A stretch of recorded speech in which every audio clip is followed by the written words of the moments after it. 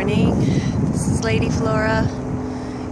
It's pretty chilly out for me. My hair is really wet. I didn't feel like wearing my boots today, so kind of cold. I think it's probably about 51, 52. And uh, I wanted to come over here because there was a woodpecker.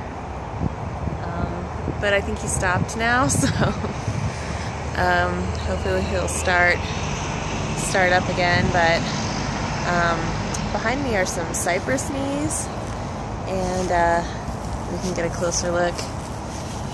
You know, I looked them up on Wikipedia because I was wondering um, if maybe they were baby cypress trees. Um, you know, cypress trees in training or cypress trees to be, but uh, apparently scientists still don't know the purpose of cypress knees, which is really cool, really interesting um, to to realize that there's lots of things that we still just don't know about nature, and there's a lot that we can learn, and there's a lot of exciting information, but there's still a lot that we just have no idea. So I think the cypress knees are there to entice wading birds like herons and egrets and maybe even, well, probably not ducks, but just to entice wading birds to come and hang out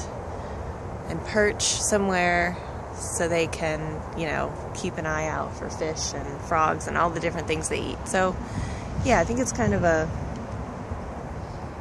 welcome welcome wading birds kind of thing. So, that's my theory on cypress knees. Um, if you have a theory, please post below. And if you like these videos, um, please like, comment, and subscribe.